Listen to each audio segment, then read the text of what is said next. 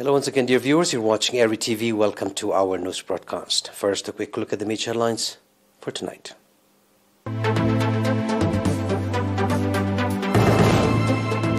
Two patients diagnosed positive for COVID 19 in tests carried out today.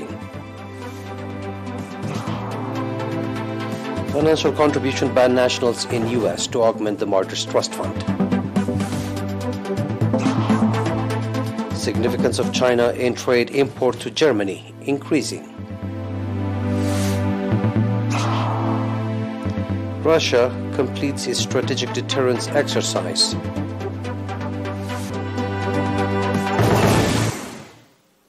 Announcement from the Ministry of Health.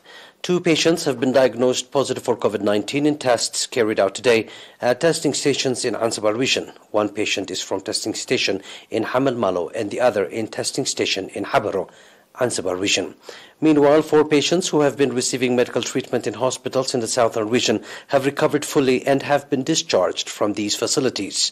The total number of recovered patients has accordingly increased to 9,559, while the number of deaths stands at 103. The total number of confirmed cases in the country to date has increased to 9,689. Ministry of Health, Asmara, 21 February 2022.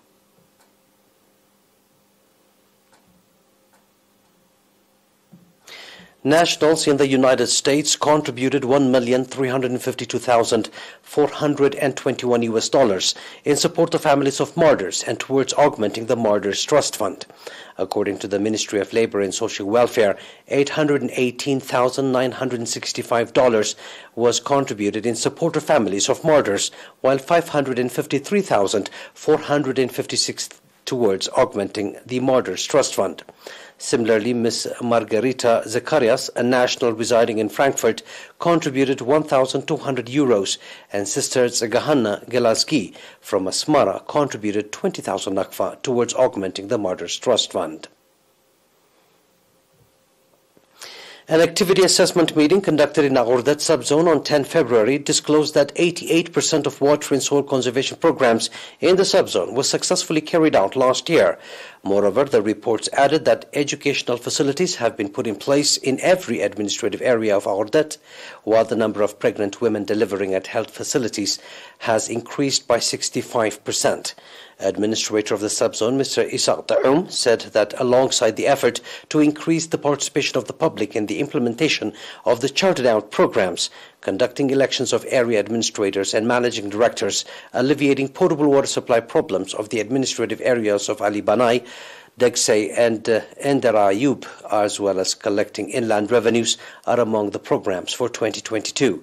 The participants on their part conducted extensive discussion on the reports presented and adopted various recommendations.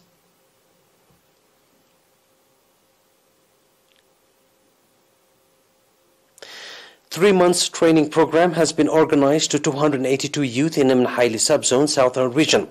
The training included video camera and beauty salon. Speaking at the graduation event conducted on 17 February, Mr. Gramai Gabru, head of the National Union of Eritrean Youth and Students branch in the southern region, indicated that the training was part of the effort by the union to develop the overall capacity of the youth.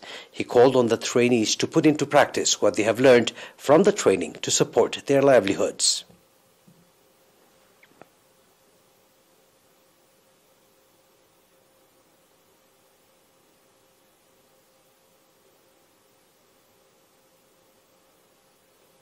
That was our domestic news. Please station for the international right after the short break.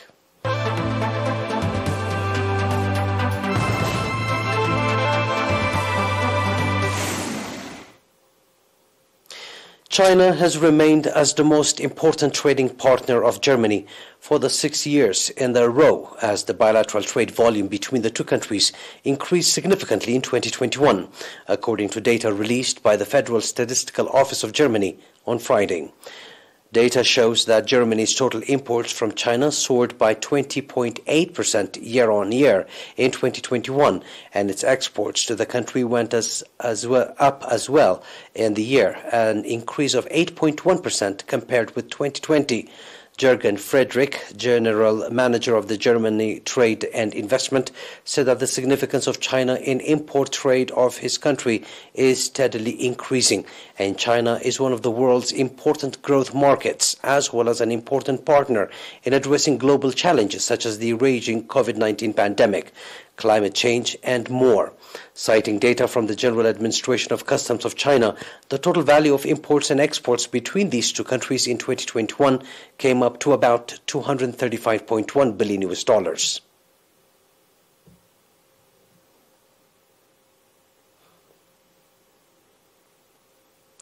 Russian President Vladimir Putin, together with Belarusian President Alexander Lukashenko, watched the exercise from the Situation Center at the Kremlin as Russia completes its strategic deterrence exercise. Russia's aerospace forces, the strategic missile forces, the Northern and Black Sea fleets were involved in the drills.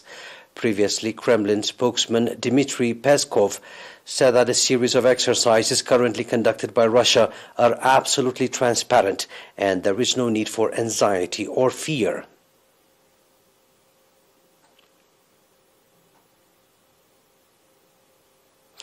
Firefighters battled a wildlife uh, wildfire rather in Corrientes, Argentina, seeking to suffocate the flames sweeping through pasture in the rural area of the country.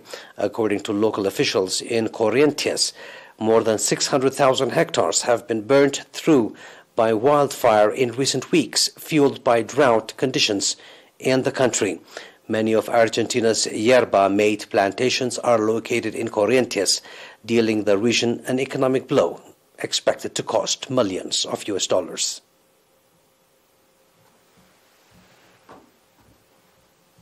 Please stay tuned for a recap of tonight's headlines.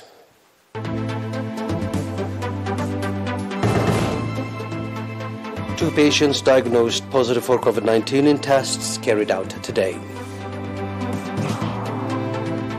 Financial contribution by nationals in the United States.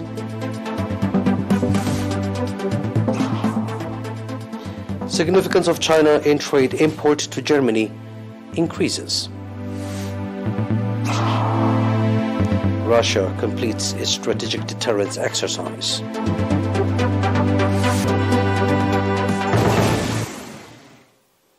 And that was our news for tonight, dear viewers. It is good night from us.